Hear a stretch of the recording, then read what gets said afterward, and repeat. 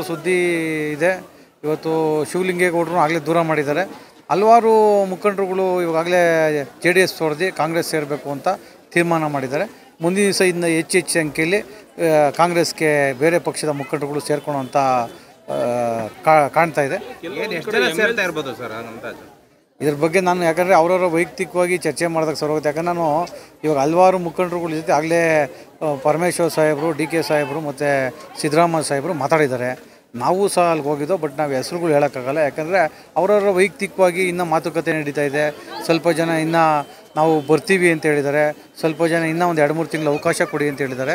But ನಾನು ಕಂಡಿರೋಂಗೆ ಹತ್ರವಾಗಿ ನೋಡಿರೋಂಗೆ ಇನ್ನೂ ಹಲವಾರು ಬಿ ಮತ್ತು ಜನತಾದಳದಿಂದ ಹಲವಾರು ಮುಖಂಡರುಗಳು ಕಾಂಗ್ರೆಸ್ಗೆ ಸೇರ್ಕೊಂತಾರೆ.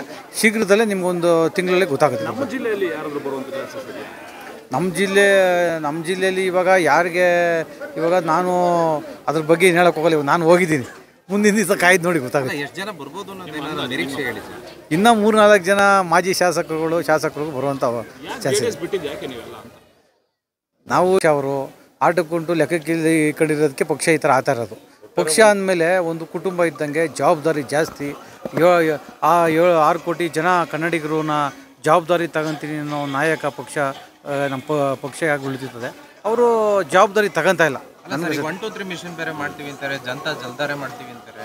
ಇದ್ರ ಬಗ್ಗೆ ಏನು ಇವಾಗ ಅವರ ಪಕ್ಷದ ಅವ್ರ ಸಿದ್ಧಾಂತ ಅವರ ಹೋರಾಟಕ್ಕೆ ನಾನೇನು ಅದಕ್ಕೆ ಅಲ್ಗಳಿಯಕ್ಕೆ ಹೋಗಲ್ಲ. ಅದ್ರ ಬಗ್ಗೆ ಹೇಳಕ್ಕೆ ಅವರವರ ಅವ್ರವ್ರ ಪಕ್ಷದ ಅವ್ರ ಸಿದ್ಧಾಂತ ಅವ್ರ ಹೋರಾಟ ಅವರ ಮನೋಭಾವದಲ್ಲಿ ಸಂಘಟನೆ ಮಾಡೋದು ಅದೇ ಇರ್ತದೆ.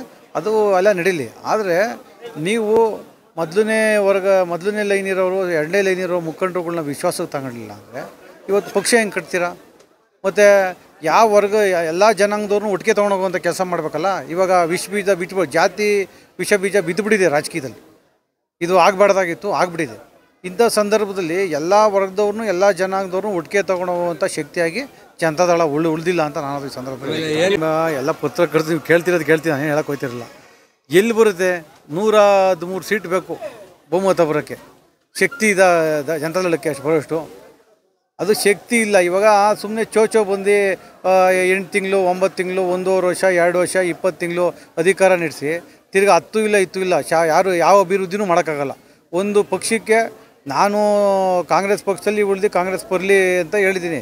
ನಾನು ಎಲ್ಲರೂ ಮನವಿ ಮಾಡ್ಕೊಂಡಿದ್ದಂದರೆ ಸಂಪೂರ್ಣ ಬಹುಮತ ಬರೋ ರೀತಿಯಲ್ಲಿ ನೀವು ಓಟ್ ಹಾಕಬೇಕು ಜನರು ಅಂತ ನಾನು ನಾನಾದರೂ ಹೇಳ್ತೀನಿ. ಯಾಕಂದರೆ ಈ ಚೋಚೋ ಮಾಡಿ ಚೋಚೋ ಆಗುತ್ತೆ ನೀವು ಅಭಿವೃದ್ಧಿ ಆಗಲ್ಲ, ಏನೂ ಆಗಲ್ಲ.